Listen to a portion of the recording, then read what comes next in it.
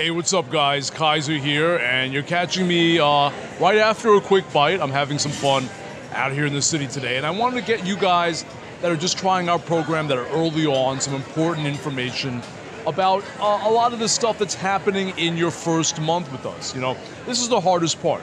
Eventually, it becomes a habit. You know, it's a funny thing that happens in fitness. It's that your body soon starts to ache when you don't work out. Uh, I, I hope you heard me right. That you feel sore, you feel achy, you feel agitated when your body doesn't work out. And those of you that are experienced fitness goers, you know about this already. Those of you that are new, it sounds like I'm lying to you. Well, you know what? Just survive this first 30 days. You're going to see what I'm talking about. Now, when it comes to these first 30 days, I'm sure when it comes to the workouts, one thing you feel, one thing. Hang on one second, guys. Let me get the uh, the Havana Libre. Yeah, sure. Yeah. So uh, yeah, just getting a little uh, drink. Uh, hope you don't mind. So um, yeah, one thing you're feeling probably is like a fish out of water. That you're like, um, I don't know what I'm doing. Am I doing it right? And uh, I, th- our trainers are here to correct your form.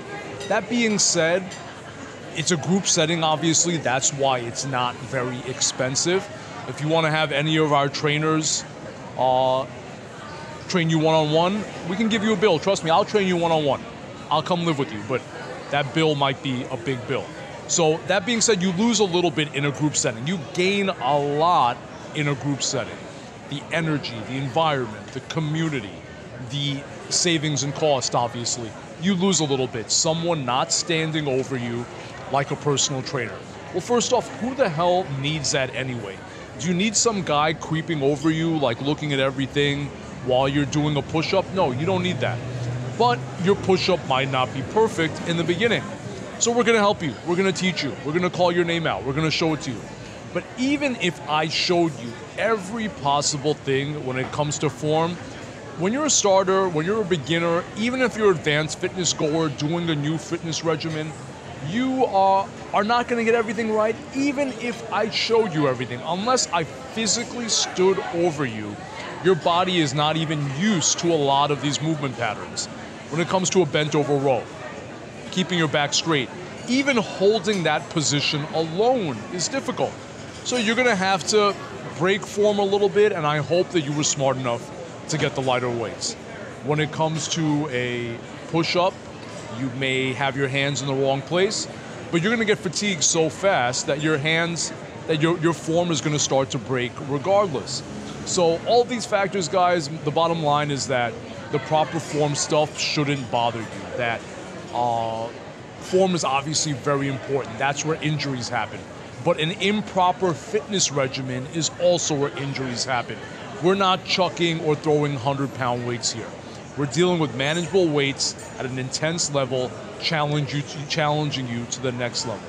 So, um, if there are some breaks in form, if you feel like every single thing is not covered, that's not something you need to worry about. Now, that doesn't mean letting us off the hook. If your trainers are not watching your form, if they're not looking over you, let me know. But no matter how much we do, no matter how much we look after it, uh, no matter how good we are at our jobs, just with, with a new person just getting acclimated to the program, unless we physically stood over you, uh, that your body just is not used to these movement patterns in the beginning. Survive your first month, get used to the movement patterns, many of them repeat, and then you are going to find that form almost starts to become second nature.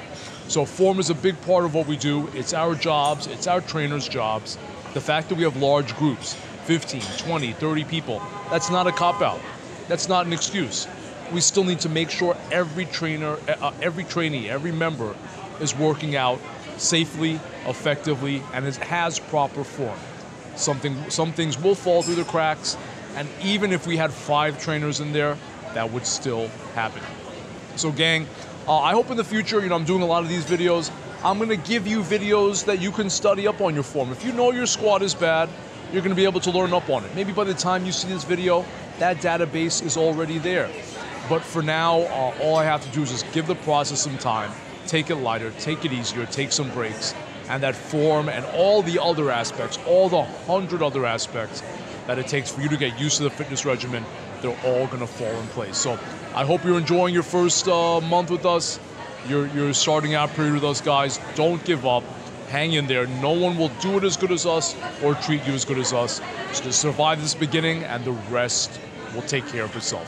That's it for, that's it for today. And I'll talk to you soon. Take care.